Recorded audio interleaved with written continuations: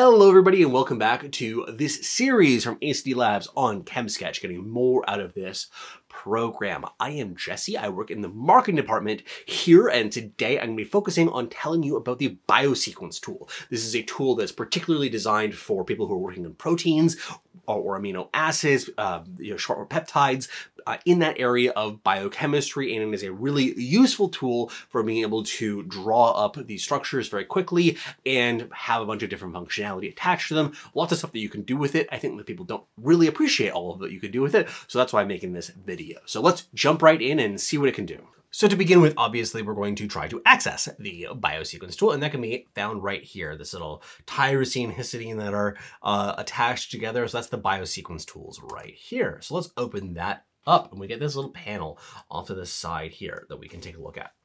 So there is a, a lot going on here, but most of it's actually going to be fairly simple from what you can see. So this, there's the standard amino acids that you have here. So A, C, D, E. Uh, you can see the structure of each of them uh, below that shows up. So, but you should all be familiar here if you're familiar with biochemistry and amino acids in general um, for that. So let's start with, with these. So you can obviously you know, take something like the alanine, we can grab it and we can put it over here. And then that's one way that you can build things. You can click each of these buttons to create a chain here. So that's one way that you can create things. So if I had a particular chain that I wanted to build of something along the lines of, let's go with, um, start here, A, C, D, we have our, our chain in that way. Alternatively, you can write things up just using your keyboards, using this little tool right here that says edit slash create biosequence. So pick that, click here, A, C, D, that, huzzah, we have our um, sequence here. Now I should, uh, of course, specify this isn't just letters that are on here. If we um, select this chain here, you'll see at the bottom it gives us the formula and the formula weight for this. And this is being counted as 10 carbons, uh, 17 hydrogens, 3 nitrogens, 6 oxygens, and a sulfur. So that's the actual formula of this full compound, not just A, C, and D, because obviously A isn't even a chemical. So the, the software does know what this is. It isn't just some abstract writing to it. And you have the formula weight as well this is in the simplified view, but we can actually convert this to a full structure view as well. So we can take a, a structure and we can press to expand it. There are a couple options here. Um, for it, we're going to use the uh, straight chain for this case, but you have the straight chain, you have 120 degree chain, and you can flip units alternately too. So that's particularly useful if you have a, really long chain and you want to be able to uh, see things in the, the, differentiation of the, the different sides of it, um, spaces things out more effectively. So that's what we have here. And that is the, this obviously more resembles what this this uh, formula is down here. Now that we have a structure, we can, of course, do the reverse too. So we uh, have highlighted the structure, we take it here, collapse structure, turn it back into ACD here. So that's pretty nice and pretty simple that we can convert back and forth between the two. Um, and in that capacity, um, the, you can also, of course, then edit these as they come up. So we can have ACD, we can change that to, let's say, 8, ACD Chem Sketch. Huzzah!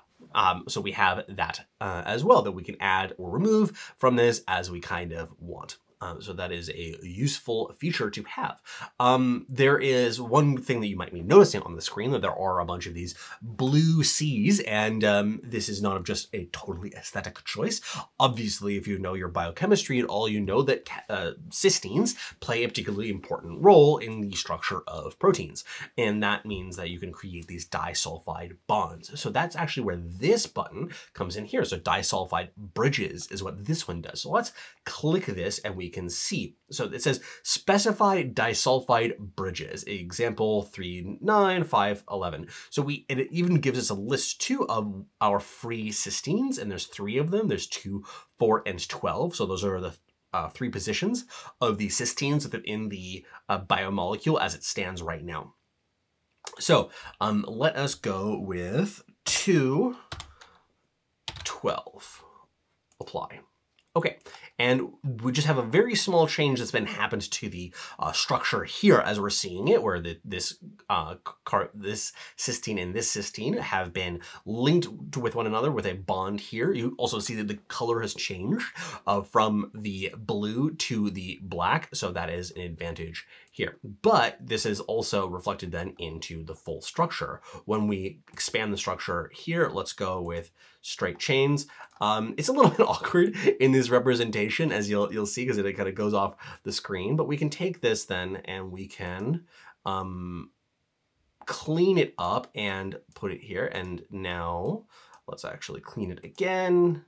Huzzah. Now we have a much prettier structure to take a look at, and it's been uh, cyclized with that disulfide bridge that's we specified here between the 2 and the 12 positions. So that is a pretty um, you know, nifty and cool. I think this is a very cool looking molecule personally, um, but uh, that's how you would generate that with through those disulfide uh, bridges. But if we wanted to change our minds, we didn't want to have it as a disulfide bridge anymore, or maybe we were doing some amount of you know, chemistry to break these disulfide bridges and wanted to shift back and forth between the two, we can switch back to the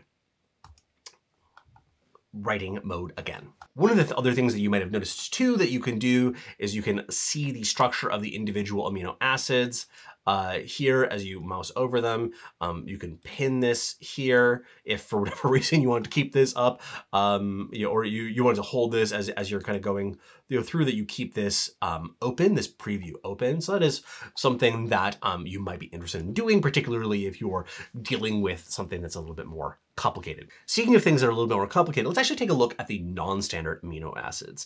Um, people who are deep into biochemistry know that there are a variety of non-standard amino acids that are used under different circumstances, uh, many of which are beyond my, my knowledge, but I'm sure they make sense to you uh, passionate biochemists out there. So we can have things like um, ornithine or uh, uh, things of that nature that are attached to it. And you can put those right into the structure. So I, I, I drop this here as uh, right within our structure. And we have an ornithine here as indicated by the X.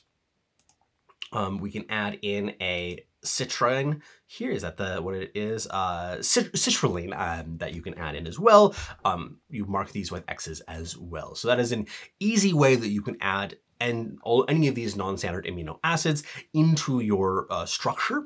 Um, this is, of course, just a partial list of what's uh, available. Um, you can see the uh, structure preview below as well. The structure preview works for any of them. Um, so even with these standard amino acids, that you can look at what they look like in case you've you know, forgotten if you're not actually a hardcore biochemist who, who's into this and you, you don't remember what the proline uh, proline looks like, then you know you have your structure right here. But um, yeah, if you don't remember off the top of your mind what a uh, cyclohexylalanine uh, structure looks like, you, ha you have access to that one as well.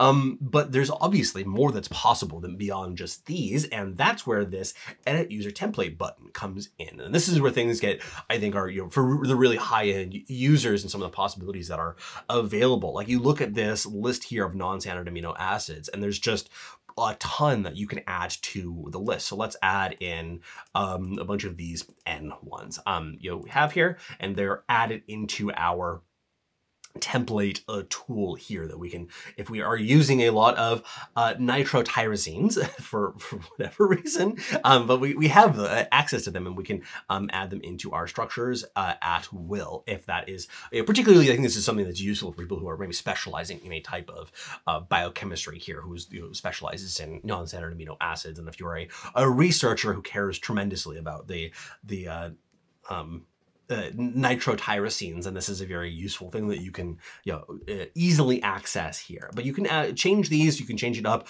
um, add, remove, however much you want to do with it, and customize your templates um, so that you have access to only really what you want or, or need. Also have uh, groups here. So these are protecting groups um, that if you are involved in protein chemistry, peptide chemistry, uh, th this is something that is very useful to have access to. So like the, the Fmocs and the, the, the are all, I think, you know, pretty common uh, tools that are used in a lot of um, synthesis here. And once again, you have a lot of options of what you can add and change depending on what you're most interested in in the kinds of chemistry that you're doing. So th this is just a, really a lot of flexibility, I think, in a, in a tool like this and that you can add them on into various places within your structure.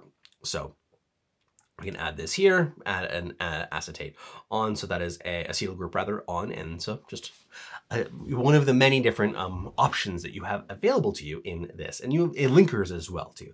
That's another option that is a possibility. So yeah, look into this and figure out what you really want to get out of it, because I think that this is a really uh, fascinating and powerful tool for people who are into a particular type of biochemistry. One final thing to show you that I didn't note earlier is actually the uh, three letter view on and off that you can change whether you prefer the um, notation of using the single letters or versus the three letters. I probably prefer the three letters personally. Uh, it's uh, definitely recognize what they, they are a little bit more quickly. Um, but uh, that, that is just something that is also available to you if that is something that you prefer. Uh, all about the flexibility, all about the uh, choosing things to your personal preference and your personal workflows. But I think that that will do it for this particular tutorial. Thank you so much for hanging out. Remember to like and subscribe. If this was useful to you, I will be putting out more content like this. This actually kind of came out of some questions that I received over the uh, YouTube comments over time. So if that is something that you have questions in your mind of how to take advantage and use some of the tools in our program, let me know and I will do my best to either answer the questions directly or show you in something like a video. I, I, I would love to have that sort of feedback and interaction. But that has been uh, it for today. Thank you so much for hanging out. Take care, everybody.